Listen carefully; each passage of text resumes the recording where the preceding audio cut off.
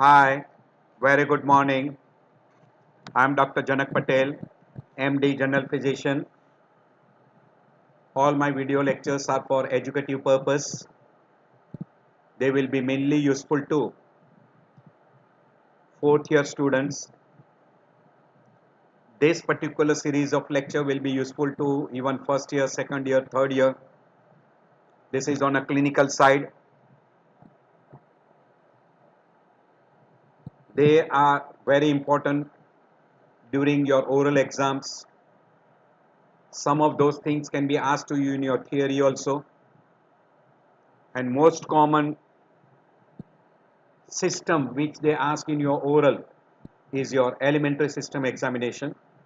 So at present we are dealing with an alimentary system examination. If you like video, please press button like, subscribe and play, press bell icon so you get a message.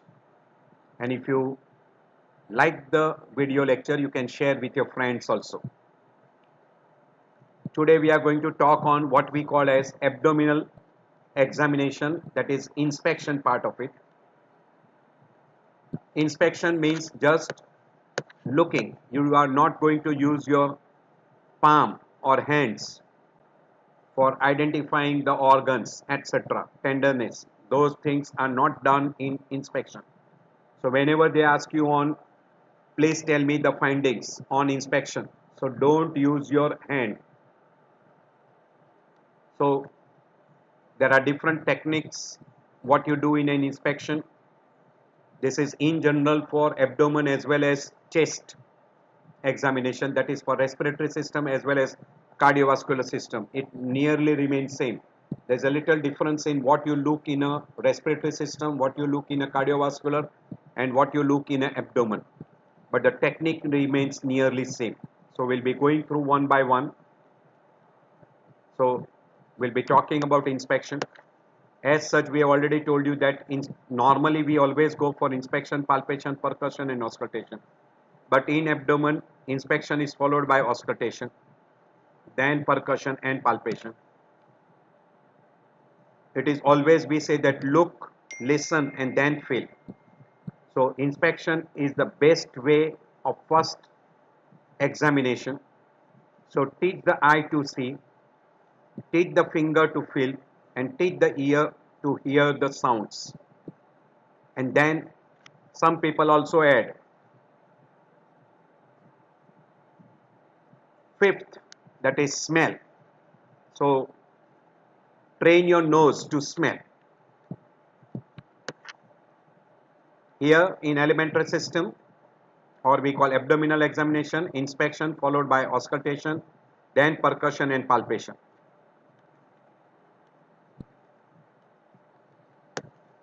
So what you do on inspection? First always be gentle to the person your dressing should be proper. Have a good introduction. Have a kind attitude. And a good mo medical moral should be followed. During inspection, you don't require anything. You don't require stethoscope. You don't require ruler. You don't require portable light. You will require a gloves. But ideally, gloves are required when you are doing either palpation, percussion or you are doing PR proctoscopy, etc.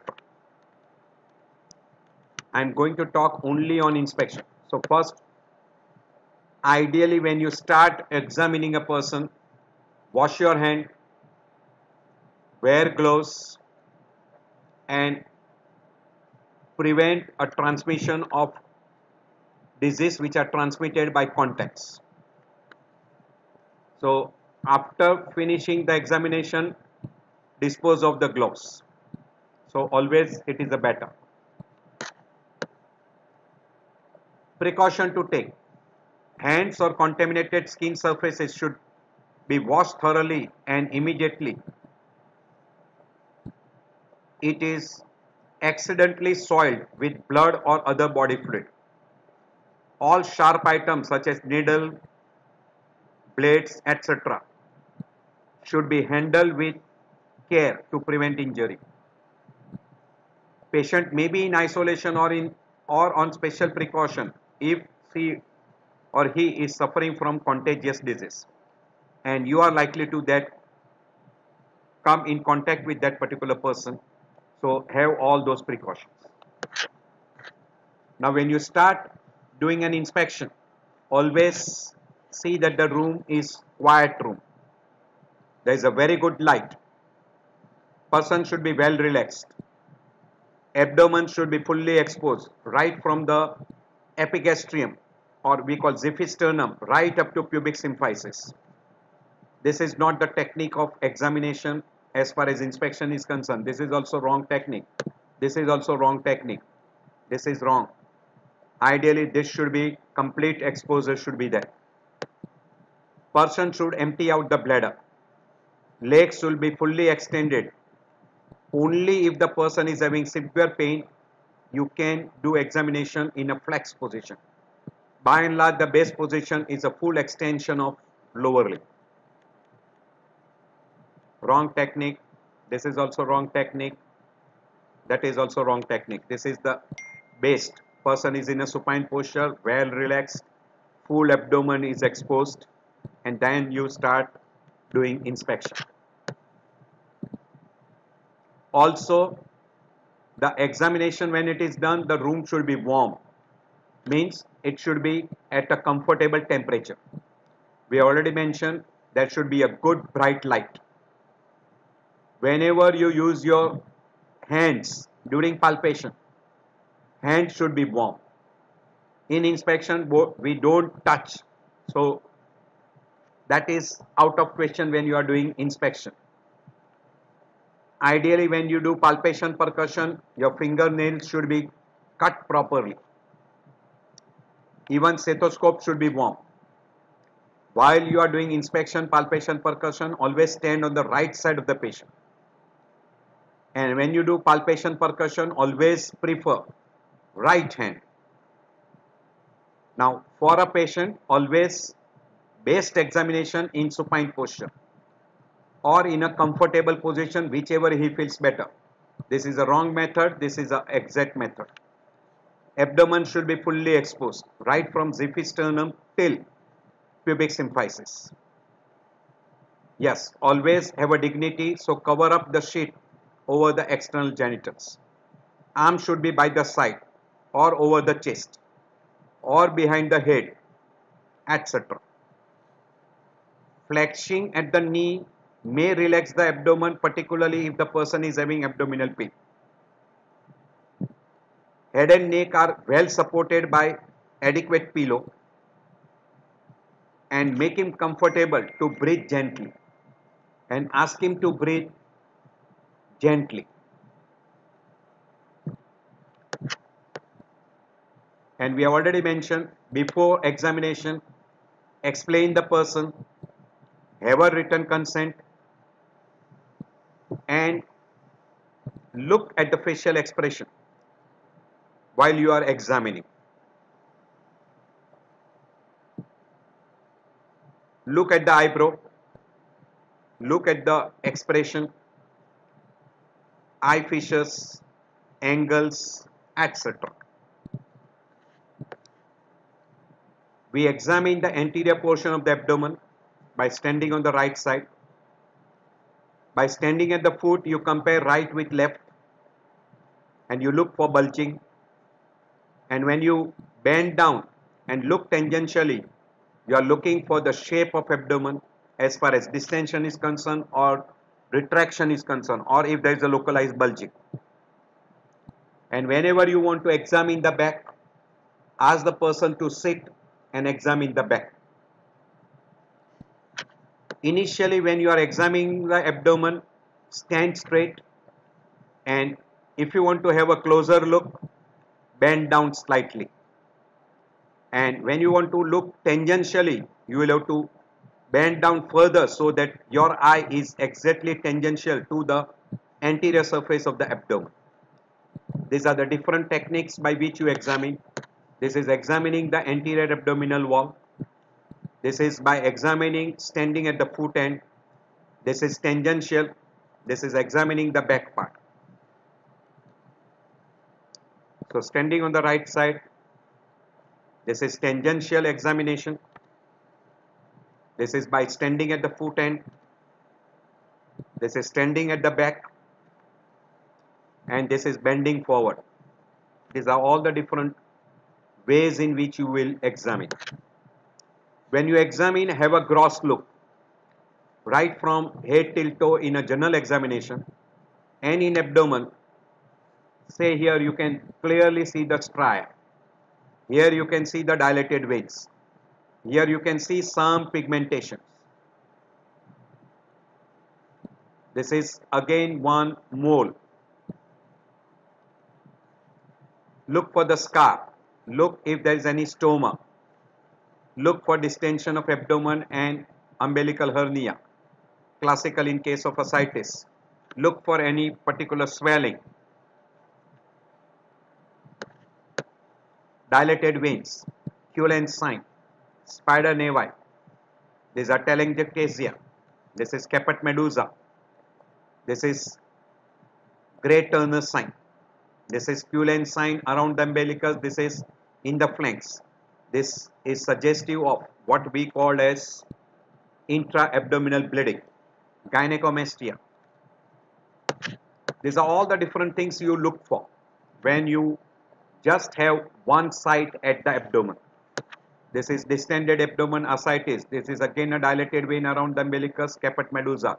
These are linea alba. This is leukonychia. There is a loss of hair. This is gynecomastia. But just having look at all these things does not complete the inspection part of it. You have to go systematic. And for systematic, we always follow some particular pattern. Initially, we always look at the shape of abdomen by standing on the right, by standing at the foot end, by standing erect and by bending down. You look at the shape of abdomen and by looking tangentially. Along with shape of abdomen, you also look at the respiratory movement which will produce the movement of anterior abdominal wall followed by examination of umbilicus complete shape, site, any discharge, any swelling, etc. And then look at any swelling over the abdominal wall, anterior abdomen. Then if there is a visible peristalsis, any visible pulsation, any dilated veins, scar, pigmentation, divarication of recti or also called as a diastasis. Look at the hernial orifices. Is there any swelling at the hernial orifices? Is there any impulse on coughing? Have a general look at the external genitals, anal and perianal region, back of the abdomen, spine, renal angle and any other abnormality you, if you can identify. Then look at the groin and inguinal region. These are all the things which are being included in abdominal examination on inspection. Some person follows this technology. That is, you start from the xiphisternum towards the pubic symphysis. So look at the xiphisternum subcostal angle, then epigastric region for pulsation. Look for divarication of recti, umbilicus, any abnormality in umbilicus. Then look at the suprapubic hair distributions, any swelling like distended bladder, uterus, ovarian, etc. And then hernial orifices. At the site, you look at the shape of the abdomen, collateral dilated veins, pulsation, skin, scar, movement with respiration, visible peristalsis. Whichever technology you follow is okay. So here shape and movements, scar, distension, dilated veins, stria or we call pigmentation, any bleeding, bruise, pigmentation and visible peristalsis. Now when you are doing this particular pattern, you are likely to forget some of the inspection findings. best way this covers up almost everything but as far as possible cover up all see here abdominal respiration shape then you go for all other now first we'll be starting with shape of the abdomen. For examining the shape of the abdomen you will have to stand at the foot end or stand on the right side erect then bend down and have also tangential examination. This will give you a very good idea regarding the shape of abdomen. And while you are examining the shape of abdomen see that right from xiphisternum up to pubic symphysis abdomen is completely exposed. Provide a clothes to cover up the external genitals. And whenever you are examining the external genital at that time you can expose. So maintain the dignity of the patient. While you are examining the back only at that particular time you ask the person to sit and then examine the back and whenever you are examining for external genitals perianal region inguinal region then only the clothes below the pubic symphysis should be removed. Finish up the examination and then again recover the area. This slide I have already shown you before. This is the examination of anterior. So first you explain the person. Have a nice way of talking with the patient what you are going to do.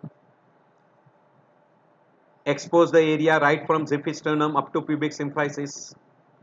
Base position is a full extension. This is the base position but uncover the area.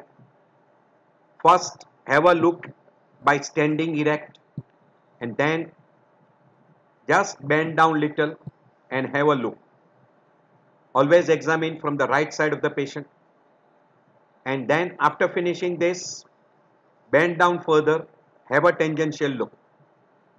You can go to the foot end and examine and compare right with left and have a look for any swelling.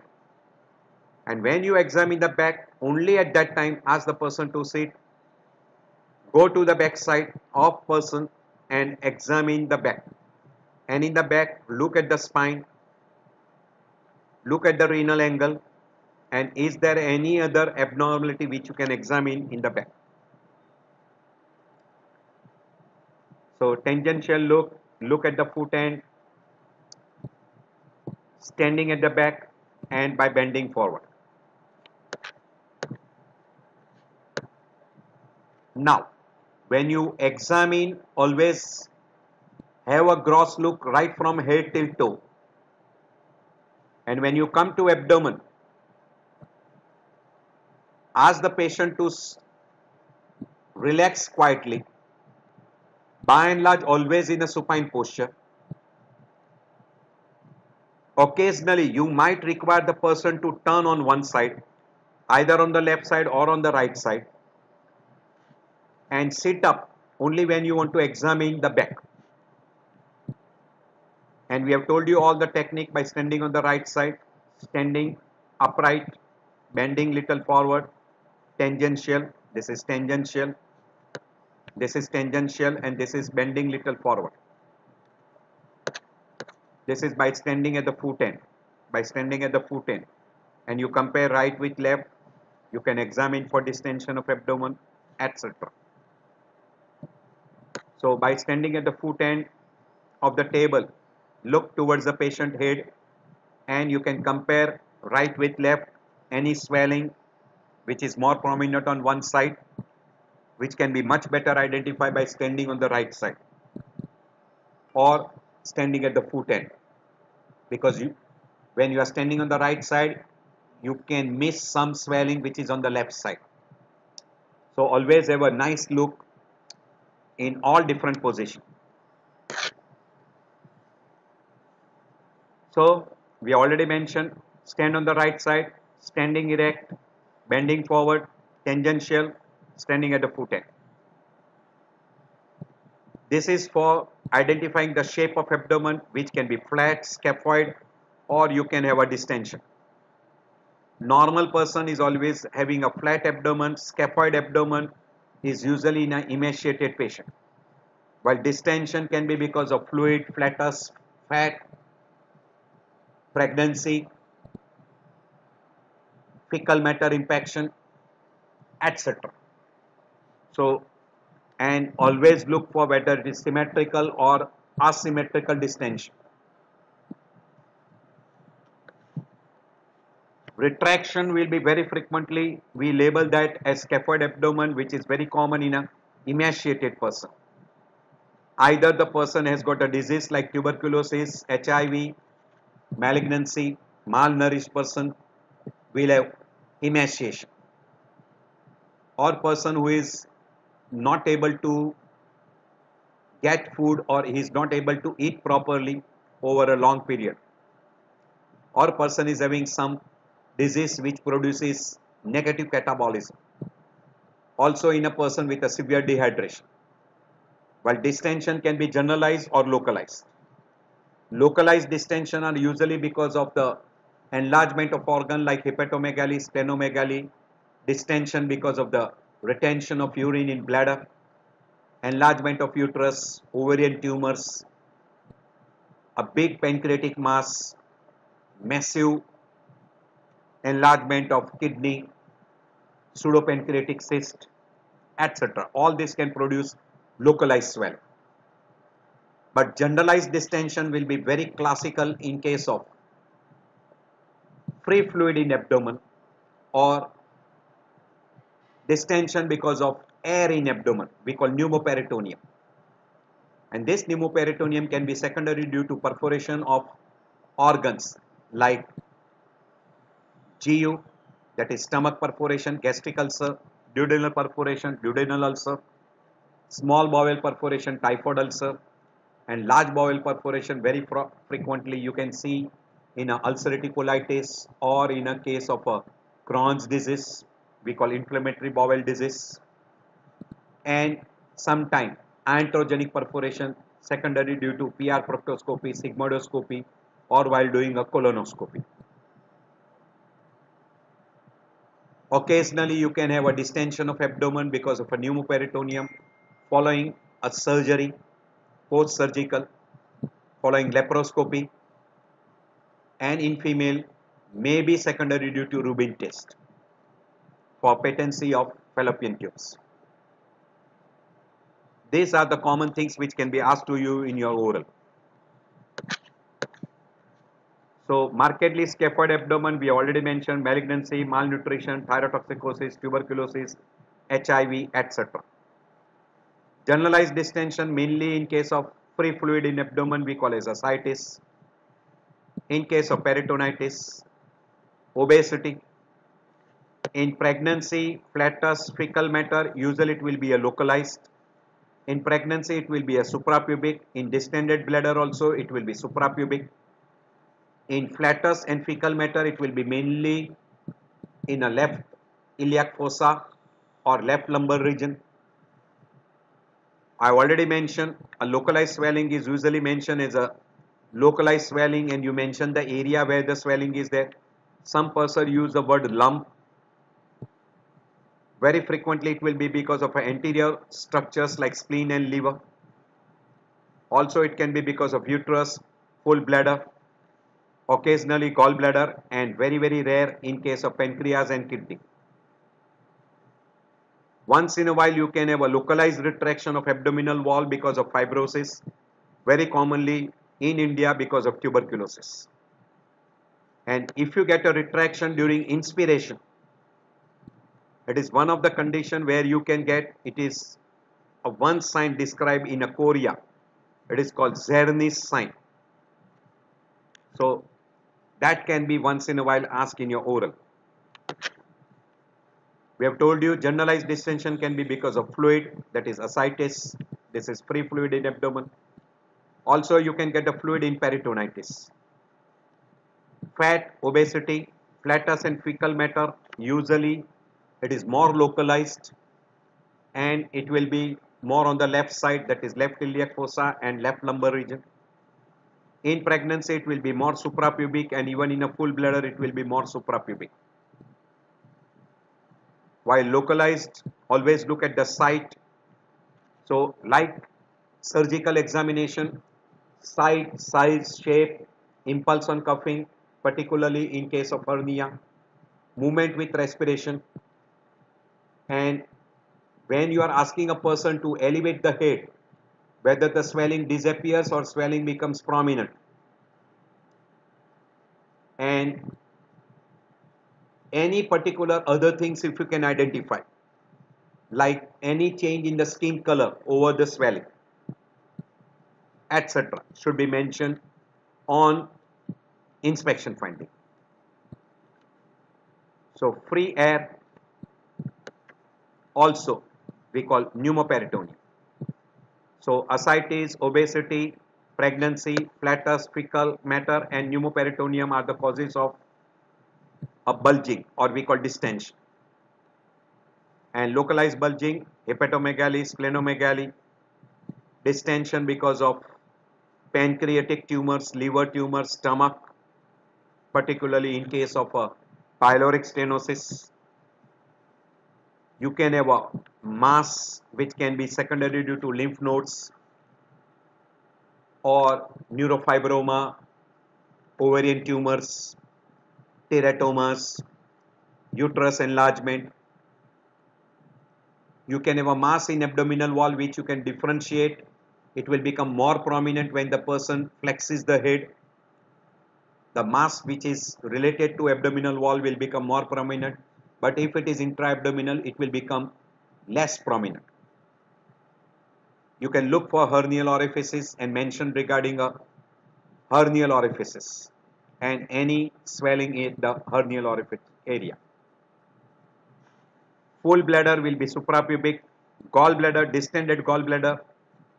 By and large, it is very frequently seen at the right costal margin, at the junction of mid-clavicular line and right costal margin. But sometimes, as the gallbladder can be distended to such an extent, you can see that swelling even as low as right hypochondrium. 2. Up to right hypogastrium, right iliac fossa. You can see in hypogastrium or you can see even swelling in right iliac fossa. It can be that we have got one particular picture, we'll show you that. Ascites can be because of very classical in case of a congestive heart failure in failure secondary due to pericardial effusion, cardiac tamponade, constrictive pericarditis, all this will produce predisposed to congestive heart failure. Because of accumulation of fluid in case of a portal hypertension secondary to cirrhosis of liver, in nephrotic syndrome because of hypoproteinemia. You can also have collection of a fluid which can be infective pathophysiology like bacterial or tubercular peritonitis or even following a perforations.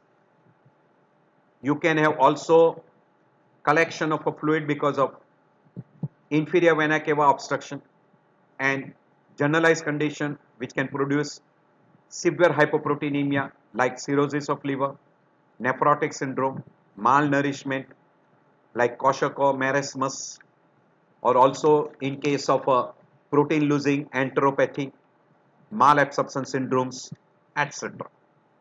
So there are multiple conditions which can produce free fluid in abdomen.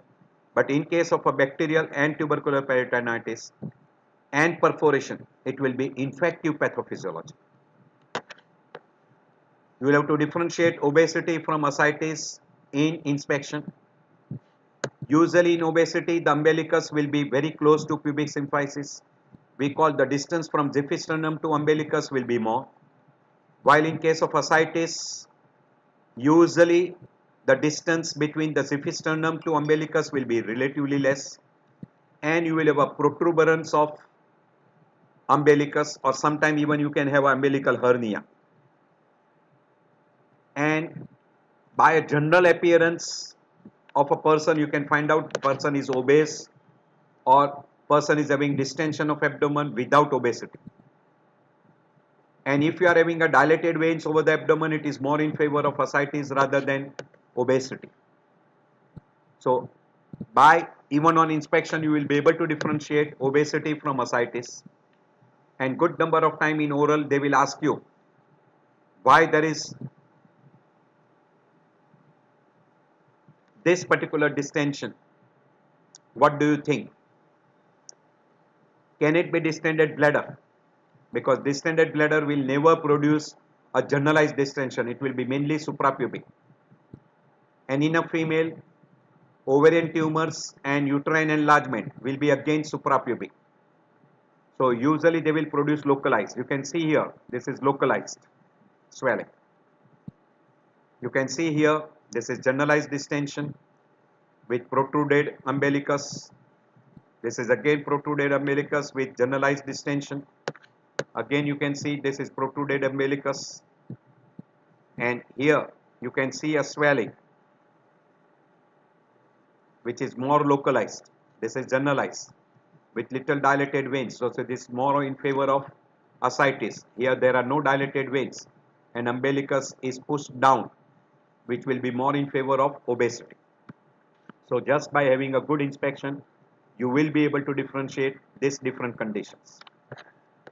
And another very easy way to identify is stand at the foot end. You will be able to differentiate whether there is any localized swelling which may be difficult to identify in presence of generalized distension. See here you can see this is a swelling, this is because of a gallbladder. This is a umbilical hernia. You can see here, this is umbilical hernia, distended. Okay, so you will be able to identify that. This is localized swelling. This is again a localized swelling, but this is generalized. And you can see protruded umbilicus. So this is more in favor of ascites rather than obesity. While here this is more in favor of obesity and good number of time if you stand at the foot end you will be able to pick up much better or by looking tangential. So generalized abdominal distension, scaphoid abdomen, there is a localized bulging, this is uh, bulging in the epigastrium. There is a slight fullness of abdomen, but not as distended as this. So try to identify. This is normal. You can see this is more distended in the lower part. This is pregnancy. This is ascites with protruded umbilicus this is again obesity you can see that umbilicus is pushed down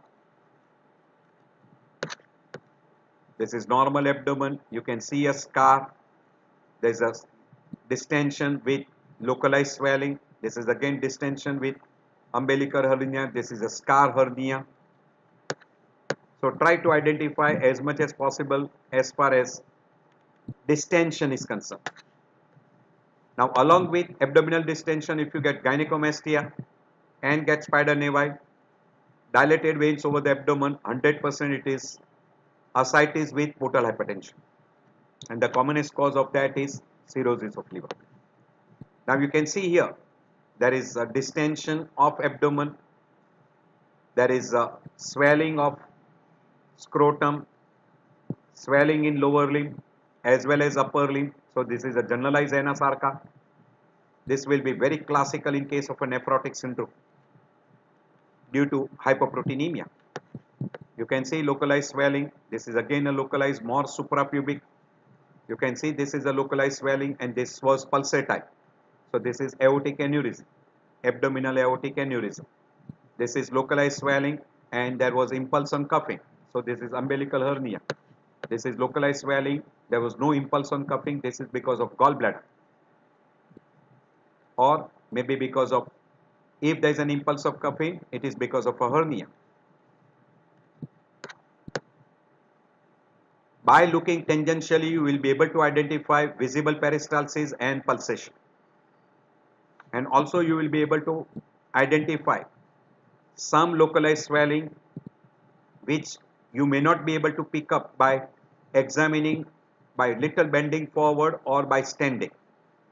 So always do tangential examination also in inspection. So in tangential examination you can identify aortic pulsation much better than standing. You will be able to pick up flat abdomen and scaphoid abdomen also much better. even you will be able to pick up a generalized distension or localized swelling and if the enlargement is symmetrical or asymmetrical you will be able to pick up much better if you look tangentially and by standing at the foot end so these are some advantages which you can have while examining by standing tangential.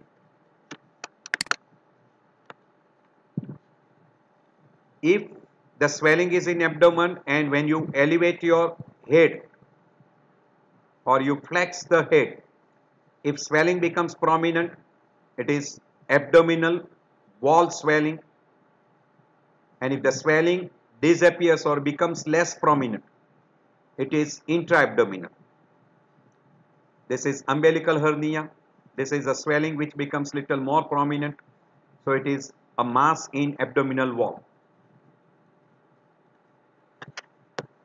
So when you look tangentially, you can identify this is little inward.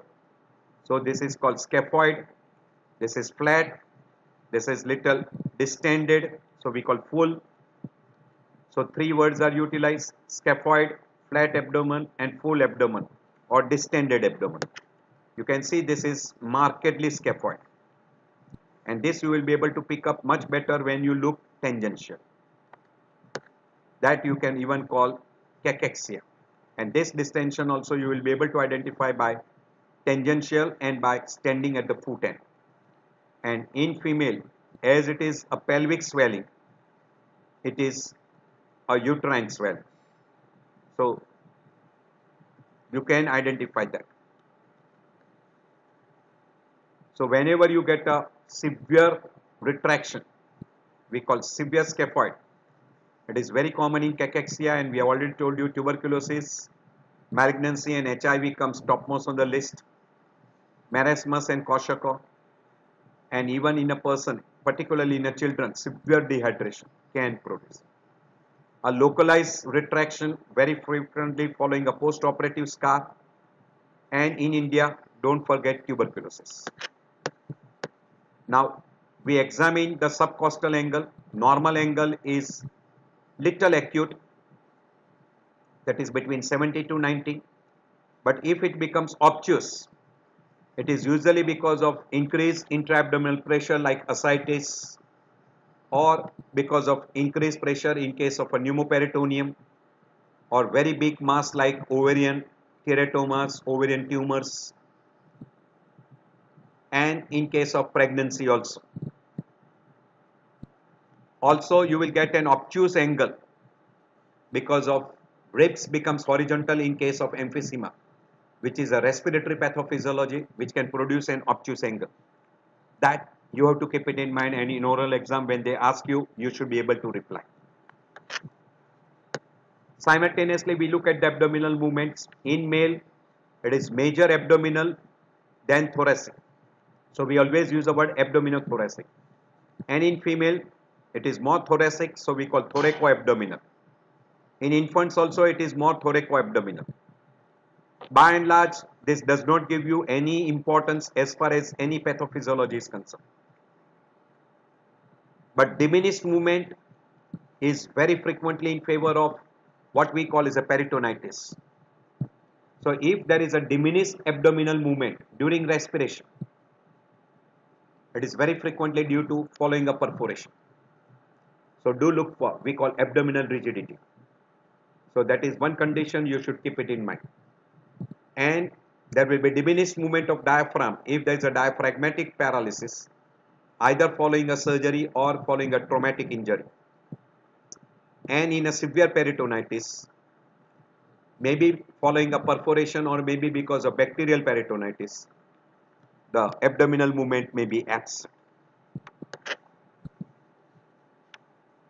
While you are looking at the movement with respiration, we have told you that decreased movement or absent movement very frequently in case of a peritonitis which leads to rigidity, generalized rigidity.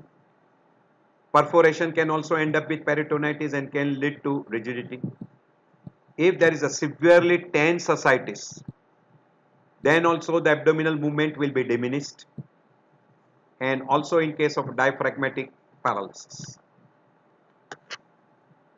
Now we go to the second component we call as umbilicus. In umbilicus we look at the shape. Normal shape is a round and puckered and it is deep inside. If it is transversely stretched we call it a smiling umbilicus which is very commonly seen because of a increased intra-abdominal pressure and distension. Very classical in case of ascites. But because of increased pressure then umbilicus is pushed forward we call protruding umbilicus. So in a tense ascites usually you will get a protruding umbilicus and sometimes also you can get a hernia at the umbilical region. So this will be very common. Umbilical hernia will be seen in patient with a tense ascites and a person with a severe increase in intra-abdominal pressure. The umbilicus position is usually center means the distance between xiphisternum to umbilicus and from umbilicus to pubis symphysis is equal but distance from xiphisternum to umbilicus will be pushed down in case of obesity and ascites while in case of pregnancy, ovarian tumors and pelvic tumor, it will be pushed up. So if umbilicus is pushed up, it is mainly because of pelvic tumors like ovarian tumors, pelvic tumors like teratomas or because of pregnancy while it will be pushed down in case of ascites and obesity. So do remember that. Very frequently asked in your oral. So in pregnancy, it will be pushed up. In ascites and obesity, it will be pushed down. So have a proper look. So classical in case of ascites, it will be markedly pushed down. Also in case of obesity. But difference between these two, you will have a protruded umbilicus and sometime you will see umbilical hernia which will not be characteristic in case of an obesity. So that can be easily identified. Now if there is a discharge from umbilicus, either it is because of inflammation or because of umbilicus is still in connection with bladder, we call as a patent urachus. And in that patent urachus, you will have a slow discharge of urine coming out from a patent urachus. While if there is a persistence of Meckel's diverticulum at the umbilical hand, umbilical end, then you will have secretions from that Meckel's diverticulum producing we call crying umbilicus or weeping umbilicus. Very very rarely you will have absence of umbilicus that is post surgical. By and large always a surgeon will preserve the umbilicus. Very rarely because of some unknown reasons the umbilicus has to be removed. Look at the umbilicus for hernia or any tumors, any abnormal pigmentation round the umbilicus.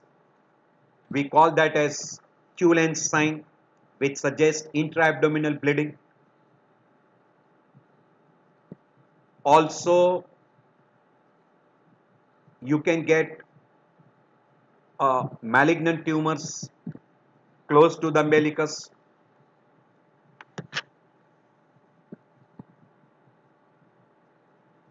we already mentioned whether it is pushed down or pushed up. Shape we have already mentioned. That is mainly it is inverted. Hernia look for hernia dilated veins around the umbilicus that is we call caput medusa and which is characteristic in a portal hypertension. Pigmentation will be around the umbilicus very frequently in case of a tuberculosis or in case of peritonitis or even in a case of a Addison's disease you can see a nodules around the umbilicus very frequently in case of an abdominal malignancy. And these are given a specific name called sister Mary Joseph nodules. And we already mentioned that if you get an subcutaneous bleeding secondary pigmentation due to subcutaneous bleeding around the umbilicus we call Cullen's sign which suggests intra-abdominal bleeding.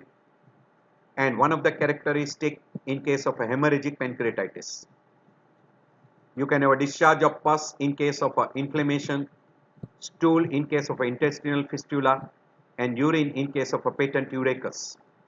And we have already told you, discharge of what we call the secretions from Meckel's diverticulum, we call weeping umbilicus or crying umbilicus. You can have a disease of umbilicus, congenital, inflammatory or neoplastic. And in neoplastic, it can be benign or malignant. Inflammation of umbilicus is called omphalitis. This is very frequently asked in your oral exams. You can have rare conditions like granulomas, pilonidal sinus, we have already mentioned, patent urachus, Meckel's diverticulum at the umbilical end and that we call as a crying umbilicus but it is not inflammation it is a discharge of intestinal secretions from Meckel's diverticulum portion. So this will be some condition where you will have abnormal discharge and some congenital anomaly like patent vitello intestinal duct or patent urachus or sometime even a congenital umbilical hernias. These are rare things but still you can see sometimes.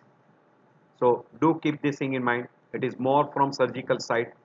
This is a patent vitelline ducts or we call omphalomesenteric remnants.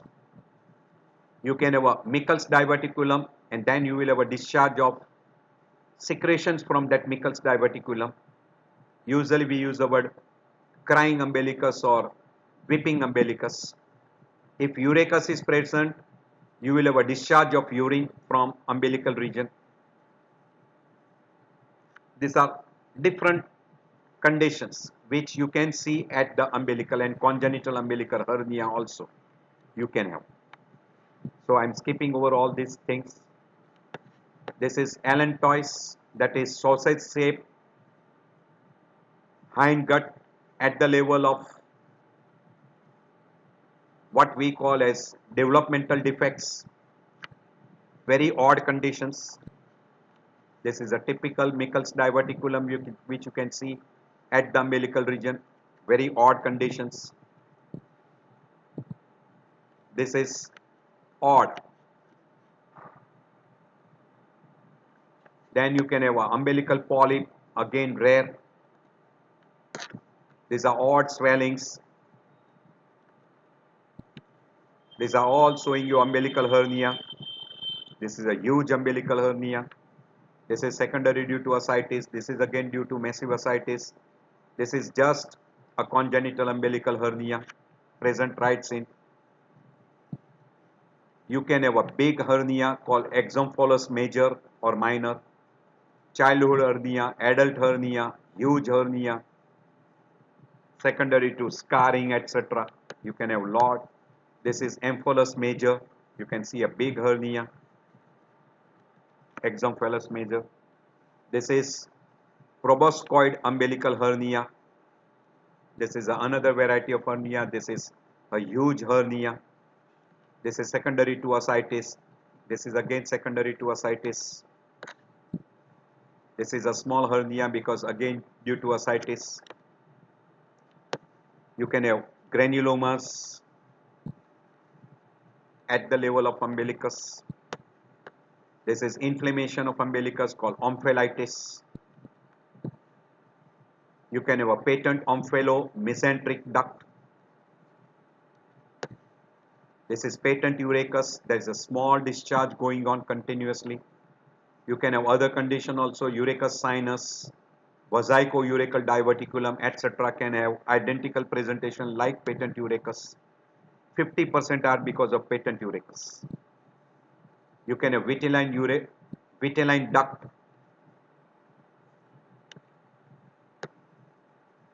you can have umbilical adenoma also described as a raspberry tumors. You can have a tumor secondary to lupus at umbilicus. Sign that is pigmentation secondary to subcutaneous ecchymosis and pigmentation we call sign. Grey Turner sign is in the flanks and this is because of intraperitoneal bleeding. One of the classical example, hemorrhagic pancreatitis. You can have a dilated vein around the umbilicus, caput medusa, which is a characteristic of portal hypertension, which is secondary due to cirrhosis of liver. So, in a caput medusa, direction of a blood flow is away from the umbilicus, very characteristic, away from the umbilicus. You can have a malignant tumors, which can be primary or secondary. These are malignant tumor primary. These are secondary tumors. Secondary tumors. And some umbilicus are so good they say thank you. Now you look at the lump. When you cannot identify the organ on inspection and by and large on palpation if you are not able to identify that swelling is due to which structure then usually they use a word either swelling or lump.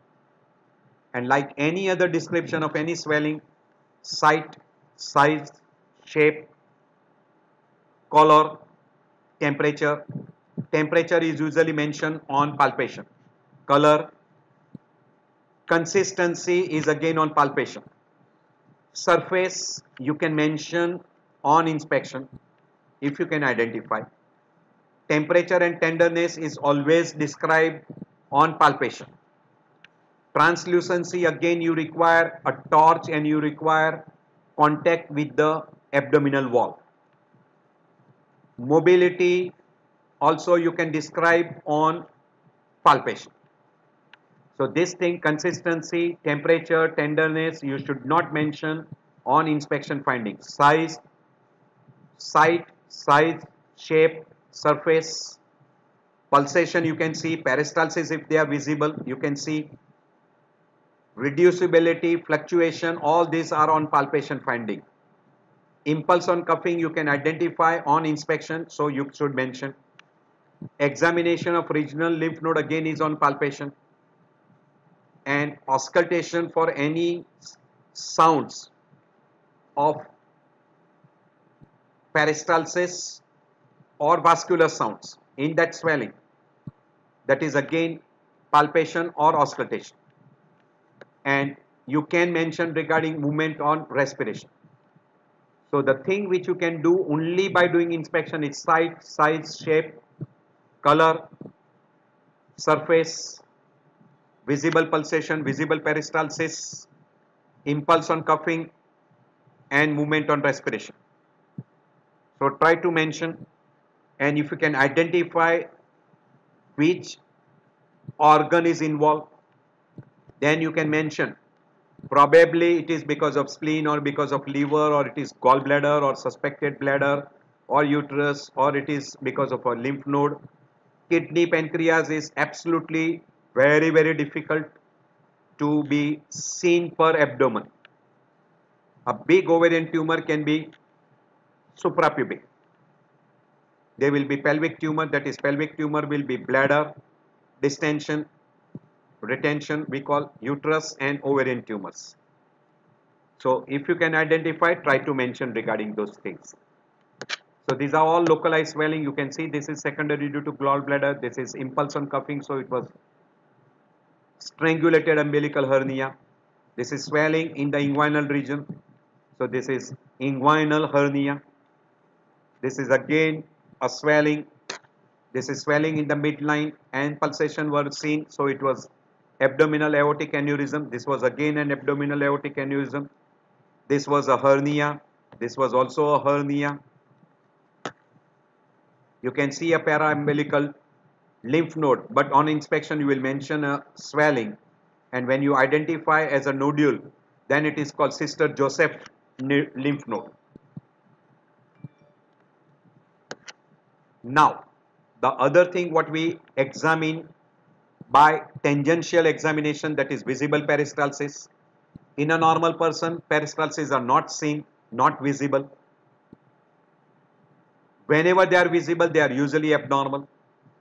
It will be very classical and seen in left hypochondrium and epigastrium because of pyloric stenosis. You will be able to see the visible peristalsis in center part of abdomen in case of small intestinal obstruction we call step ladder pattern If you see in a flanks, it is because of colonic obstruction. And in a case of colonic obstruction, it can be because of volvulus or intussusception or maybe because of stricture.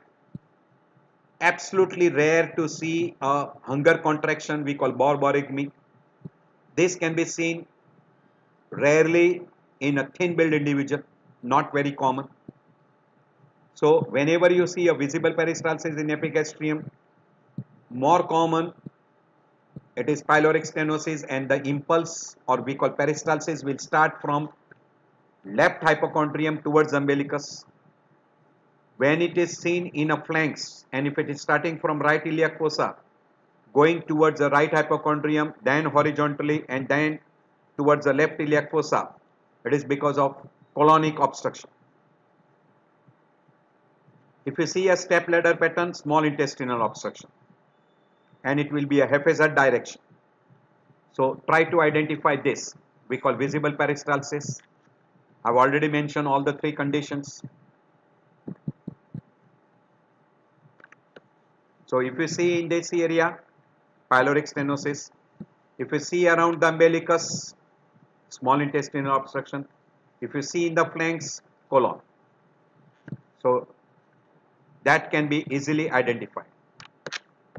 If you see this type of peristalsis, small bowel obstruction, if you see the peristalsis in the flanks, lateral from right iliac fossa towards the hypogast array, right hypochondrium, mainly in a colonic obstruction.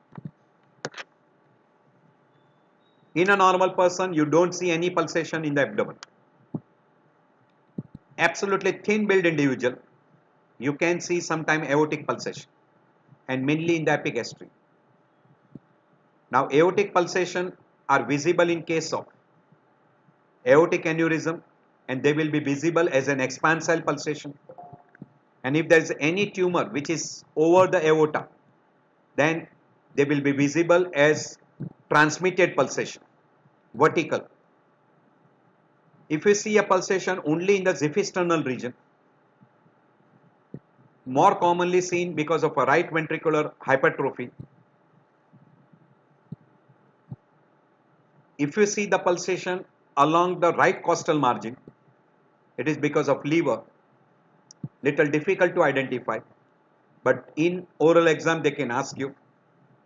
If you see along with apical impulse or with pulse, it is systolic, which is classical in case of tricuspid regurgitation.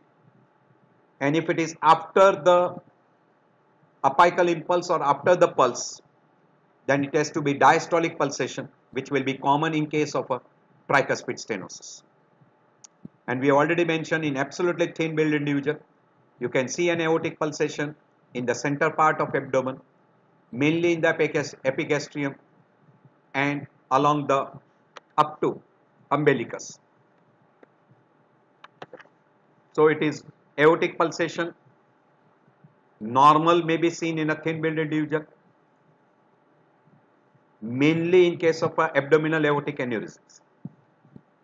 Right ventricular pulsation very classical in case of a cor pulmonale seen at the xiphisternal region and we have told you hepatic pulsation in tricuspid regurgitation during systole and tricuspid stenosis will produce diastolic.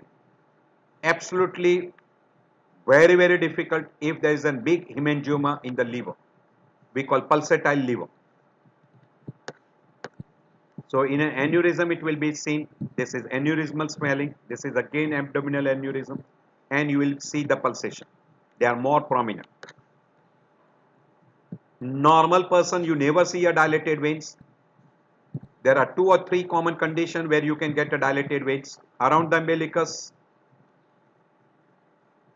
they are caput medusa. Parallel vertically down in superior vena cava or inferior vena cava obstruction.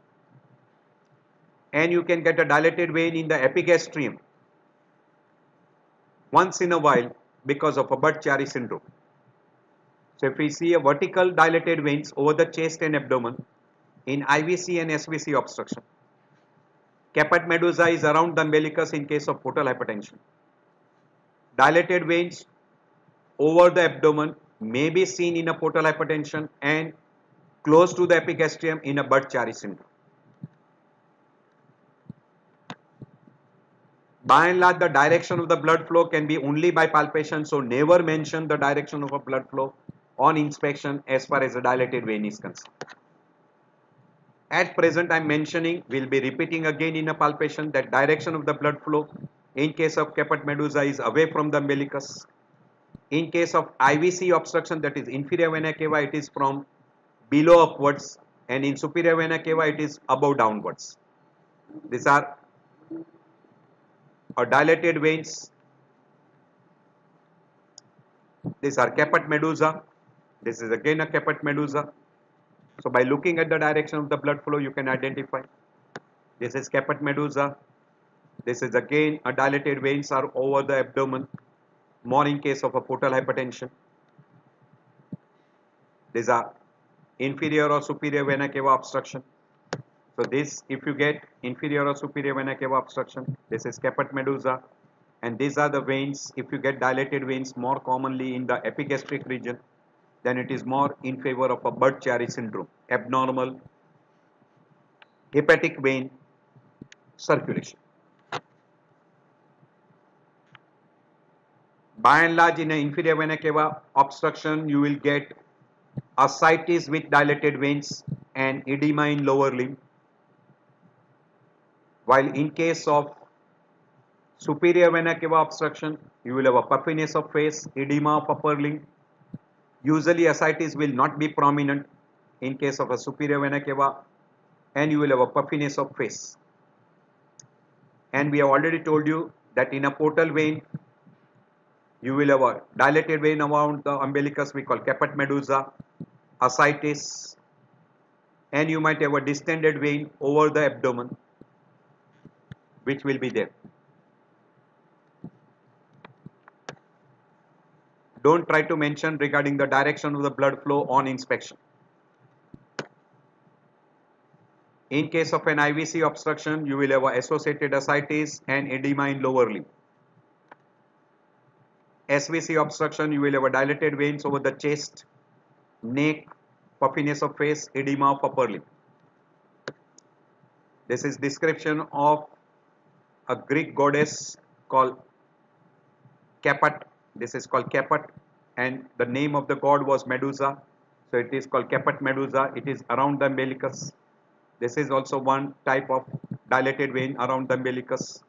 This is also dilated vein around the umbilicus. These are the different type of presentation in Caput Medusa.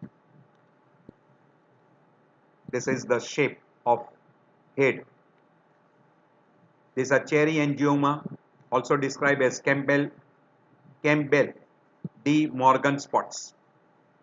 You can have a dilated veins with ascites. You can see these little dilated veins. Look at the scar. It is more frequently asked to you on a surgical site. But in a scar, you should mention the site, length. Is there any keloid formation? Is there any discharge? Is there gapping of the scar? is there any scar hernia etc nowadays the scar are very small because the minimal invasive surgery are very frequently done. So you will see a small scar of laparoscopic scar which can be for diagnostic purpose or surgical purpose.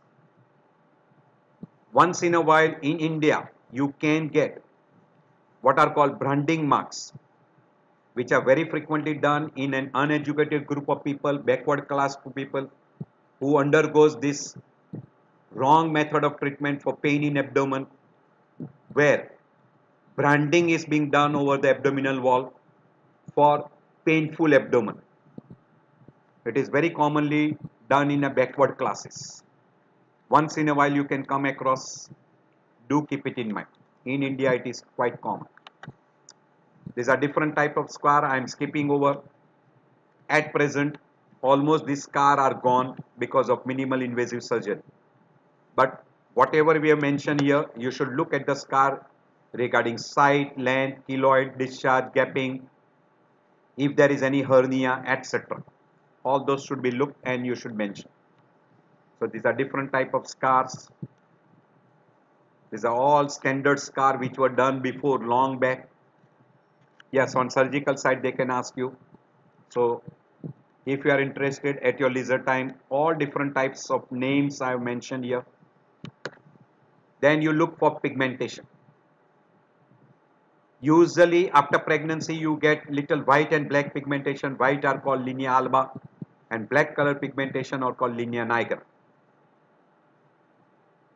In any person who has got a huge ascites and then when ascites is treated you will see little lines that is called linea alba.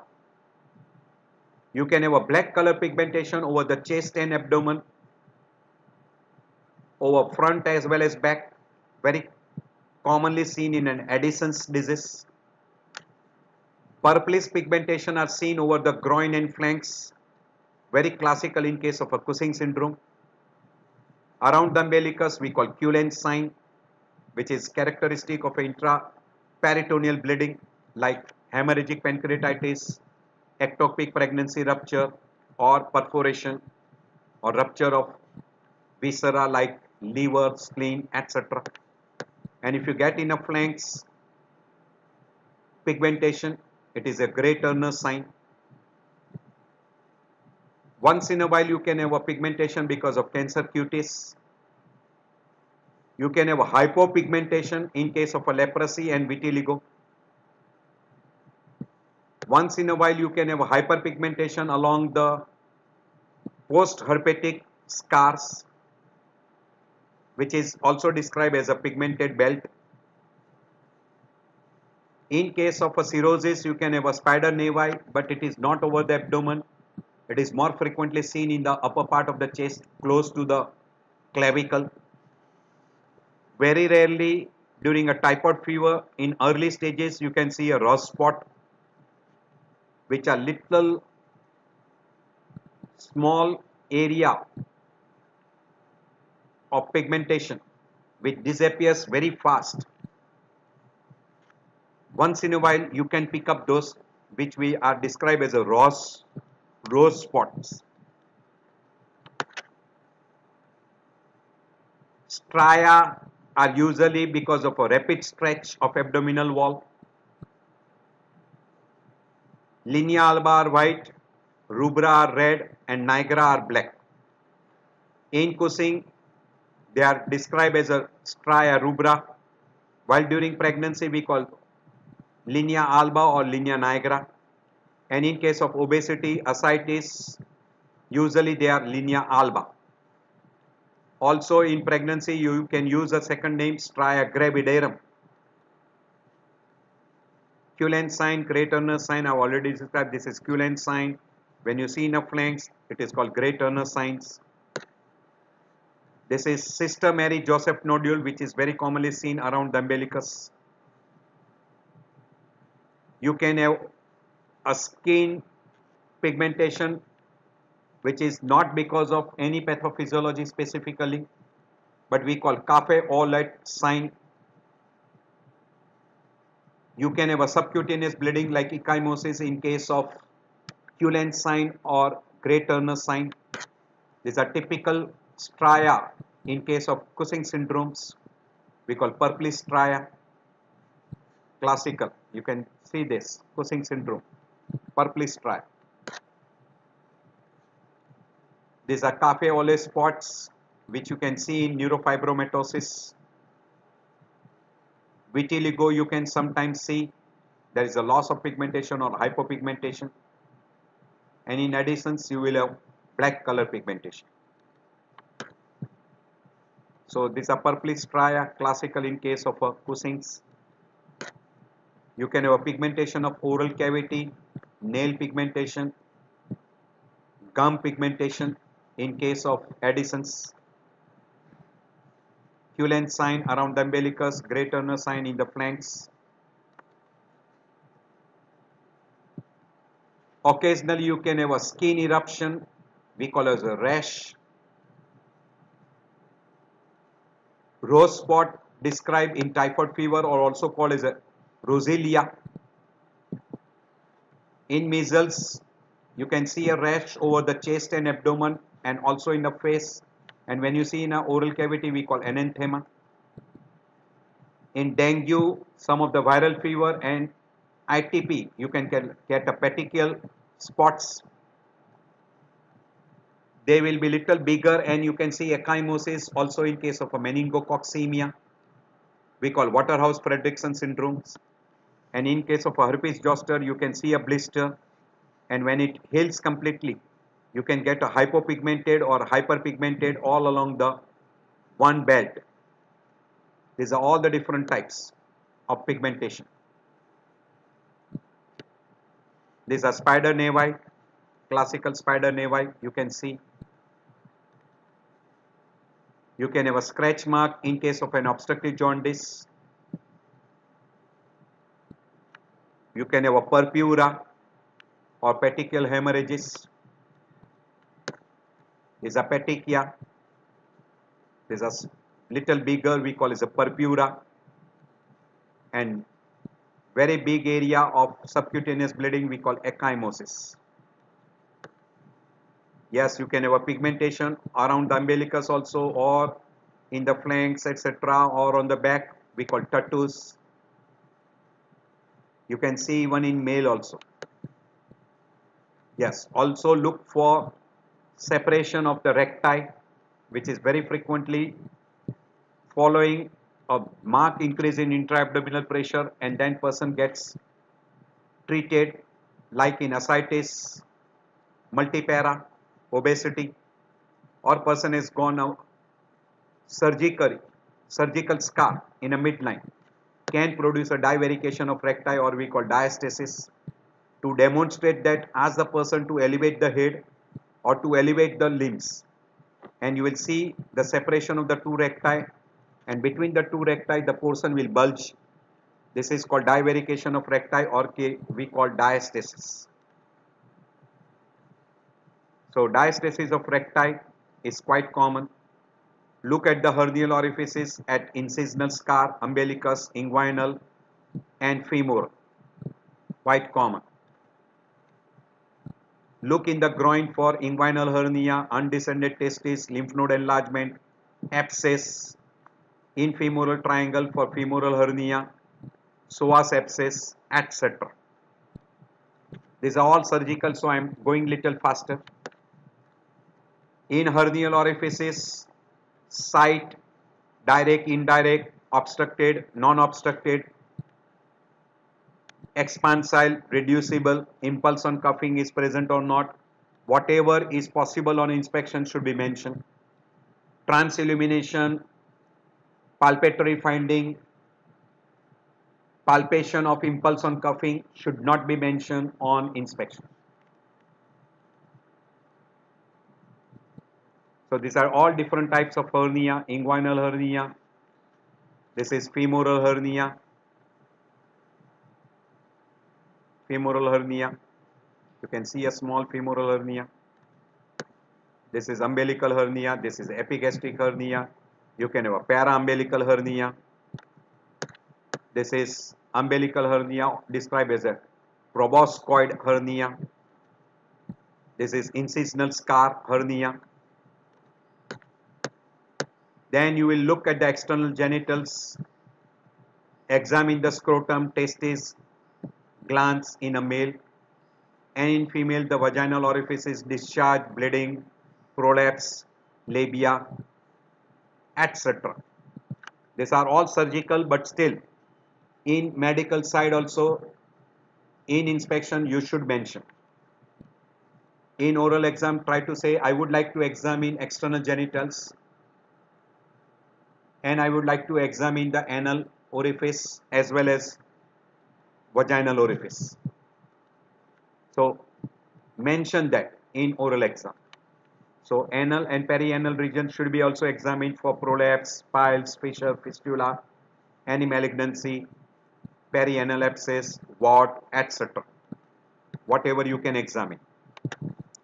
And after finishing all that, when you ask the person to sit in the back any swelling any deformities of spine any mass you can see any pigmentation or any tuft of hair this is one of the sign of meningomyelocele So look at the renal angle, look at the spine and look at the pelvic bones. In spine, you can detect kyphosis, scoliosis, gibbus. Also, if there is a swelling and deformities, and sometimes you can get swelling because of secondary metastasis also. And at renal angle, you can find out the swelling because of the kidney, like perinephric abscess or severe pyelonephritis. So try to, and if there is any abnormal pigmentation on the back, say maybe because of herpes or maybe because of some scar pigmentation, etc. So try to look at the back and mention the finding. Some person may ask you anything else then you can say regarding a type of hair distribution in a pubic region. So that may be one of the things because if there is an abnormal distribution of hair say female characteristic of distribution in a male person that suggests gonadal disorders. So have a look at that that is we call feminine hair distribution in a male and male distribution in a female. Try to look at that. So I end my lecture here. This is a long topic very frequently asked to you in your oral almost to almost all candidates. So this will be very helpful to you in your oral exam. Some of the things can be asked to you in your theory also. If you feel this lecture is helpful to you and you like this lecture, please press button like and subscribe and you can share with your friends. We'll meet you in a next lecture that is auscultation. I thank you all for taking out time. I know that your time is valuable and I appreciate that for spending some of the time with me. Again, if you like the press, if you like the lecture, please press button like and subscribe and share with your friends.